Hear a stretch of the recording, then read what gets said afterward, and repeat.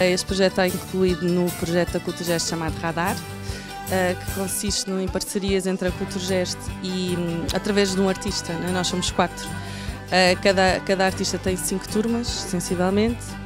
Este ano o que eu me propus a trabalhar com as minhas cinco turmas é basear-me no processo criativo. Então foi pegar num projeto desde o início do ano e, acompanhar ao longo do, do ano, desenvolvendo desde a pesquisa, a investigação, a intenção, perceber o que é que realmente nos importa como grupo uh, o que é que nos importa como pessoas e de que maneira é que nós podemos uh, inspirar-nos na, na, arte para. Um, para lançar um bocadinho de poesia na, na vida das pessoas e de criar impacto e alguma mudança.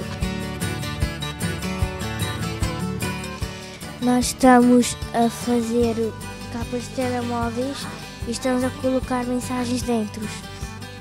A Susana disse para nós, disse para nós que escrevemos as SMS, MMS e e-mail e depois para nós fazemos frases com eles. É melhor um amigo inteligente e livre. É melhor um amigo inteligente e livre. Isso são as, as iniciais de e-mail, não é? Sim. Começámos a pensar que podíamos utilizar as siglas SMS, MMS e e-mail uh, como as, as, iniciais de cada palavra que vai formar a frase dessa mensagem que vamos colocar. E a partir daí estamos a fazer. Depois vamos meter isto fora da escola para mostrarmos às pessoas para alargarem os dispositivos a parceria com a Culturgest já é de há largos anos.